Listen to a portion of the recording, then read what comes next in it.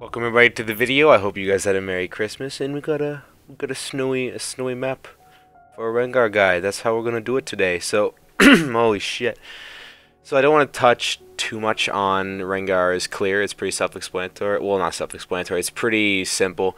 It's basically you just start red, go Krugs, go Raptors, finish your clear. I've tried going for the red and then going straight to my enemy's blue and taking that, and it doesn't really work too well. I don't. It it kind of puts me behind, and if they go take my blue, then it really wasn't worth anything. I just lost HP off of my clear, and I don't. I don't know. It's I have to save smite for it too. It's not. It's not pretty. So I'd prefer to just do my full clear. Clear my red, Krugs, Raptors, Wolves, Blue, Gromp, Scuttle if I have enough HP and time, and then go back. So by then you should have about 23 CS, and when you go back, you'll be able to buy your stalkers, not warrior obviously. You'll be able to buy stalkers and boots. So if you have enough, if you did the clear properly, if you did everything there, then you'll have enough gold for stalkers and boots. Maybe a pot or uh, a ward. But it's those are the two main things you want to get with your first back are the Stalker's Blade and your boots. So now we'll talk about Rengar's abilities so you know what you can and can't do with this champion and what makes him different than other champions. And we'll start with his passive, Unseen Predator. The definition is while in a brush, Rengar leaps at his target with his basic attack. So basically there's this ring around you and if there's an enemy within that ring then you can jump to them and basic attack them. Minions, monsters, as long as it's an enemy. Could be a ward, it could be a plant. It's As long as you can target it, you can jump to it. Now, the second part is Rengar's abilities build ferocity. Upon reaching full ferocity, his next ability becomes empowered and grants him movement speed on cast, but he instantly loses all ferocity if he leaves combat. So basically, if you leave combat for 6 seconds, you'll see a little timer on your passive. That'll show you how much longer you have to keep your stacks. If you are out of combat for too long, then all of your stacks will diminish at once. They won't periodically go down, they'll all just disappear at once. Now the third part to Rengar's passive is killing enemy champions awards trophies on Rengar's Bone Tooth Necklace, permanently increasing his attack damage.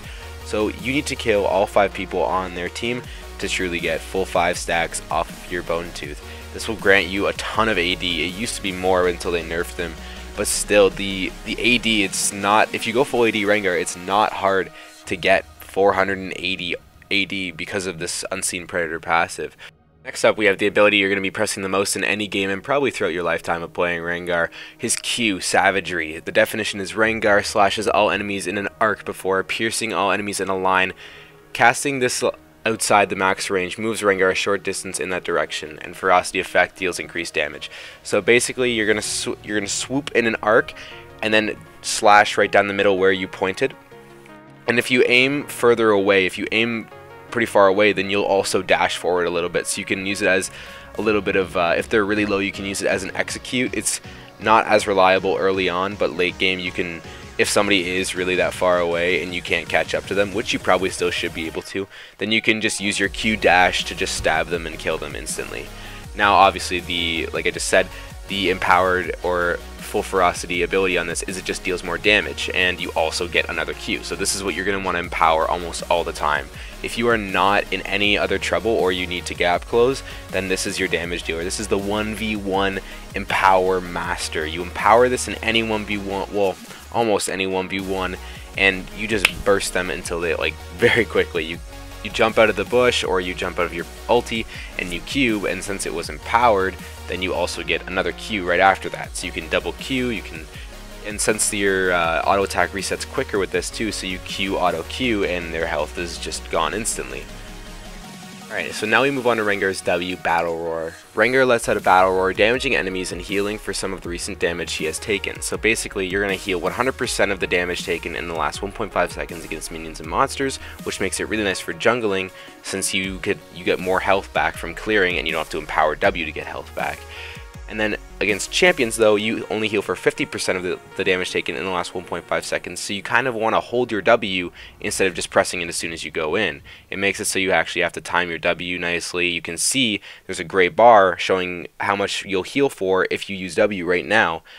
Now, Rengar's ferocity effect on his W is that he will remove the CC. So this is what made a lot of people really angry that Rengar gets a built-in QSS, but if he uses this empowered W, he sacrifices the insane burst damage that he'll get from his empowered Q. So it's kind of a little, maybe somewhat balanced. So his third ability in his kit, if you don't count the passive, is his E, Bola Strike. Rengar throws at a Bola, slowing the first target hit for a short duration. So this one, this E honestly is it's the ability that will get you killed in a 1v1 if you don't use it at the beginning. What you're going to want to do is use this while you're in a bush, while somebody's walking to you. If they don't see you and you can see them, you can line up your E so perfectly. You can throw it and then jump, and if you really want, you can throw it mid-air. That's usually the strat, is to throw it while you're in mid-air, so it'll hit the enemy when you land on them, and it will deal damage, instead of having to stop your movement and stop your autos while you're you're attacking them just to throw your E. The slow is also nice to catch up on them, but don't underestimate this ability. Late game, this ability will deal a third of a Squishy's health. Uh, this will deal a third of a Jinx's health in damage when you hit level 18. This, this ability is actually really strong. Now the ferocity effect is that it will root the target. The target will be rooted in place, which is good, but it's not the hardest CC since they can still auto use abilities. You're not going to want to use this in a 1v1 against a melee champ, but if you're playing against uh, somebody like a Vayne and you don't have Flash, this is probably your best bet to catch up to them. And finally, the greatest ability in his kit is his ult, Thrill of the Hunt. Rengar's predatory instincts take over, camouflaging him and revealing the nearest enemy champion in, the, in a large radius around him. During Thrill of the Hunt, Rengar gains movement speed and he can leap to the tracked enemy for a guaranteed critical strike, even without being in a brush. So this is the bane of people's existence. The fact that Rengar gets a guaranteed crit off of his jump from his ulti makes him insanely good for burst. Even better than what he was before. People, Rengar mains will tell you that they don't like the new Rengar. I love the new Rengar. Rengar's crit off of this scales so well with IE. You can deal a thousand damage crit when you have IE and you're level 15 or 16. So getting that guaranteed off of your ult is a pretty much 100% one shot, and if it's not, it's a guaranteed flash heal from the ADC or Zhonya's from the mid laner. This this ability works so well. It's not as good since you had to you don't get to see everybody on their team, but it's better since you get the crit strike. People hate the new auto crit strike, but to that I say why is Yasuo allowed to have 100% crit strike with only two items? Hmm? Let's worry about him before we worry about Rengar, shall we? Now, this is the part where some of you might be interested in, do we build Rengar AD? Do we build him tank? Do we build him AP? I honestly haven't really done AP at Rengar, I don't think at all yet this season, so I can't really tell you if that's any good, but I can tell you that tank Rengar is not good. People say that tank Rengar is the way to go with Rengar, and I couldn't disagree more. Basically, my build with Rengar is obviously finishing Warrior first, and then building your Ionians since you won't be able to finish any of your other items before you can finish Ionians. So, you finish your Ionians, you go back, and you you buy a BF sword if possible, so that this can build into a Duskblade or an IE. If you have enough for a Dusk for a BF sword, then buy that. But if you don't have enough, buy the Serrated Dirk and go for the the Duskblade first. If you have enough for the BF sword, then just buy that, and then you have more flexibility whether you want to go IE or Duskblade first. And then when you come back, if you don't have enough for the Dirk, then just go for the Cloak of Agility and build IE first. Then you're going to want to build whichever one of the two you didn't build first. So go, so an example build would be me going Warrior first, then my Ionians, then Duskblade, then IE. But you could go IE, then Duskblade. Either way works well. I think Duskblade go, going Duskblade first works better, but that's just personal preference off of doing this build for a while now. Now, then what you're going to want to do is probably build Phantom Dancer so you can get the attack speed and also extra crit strike. It just makes it so then you have 50% crit strike and you attack more.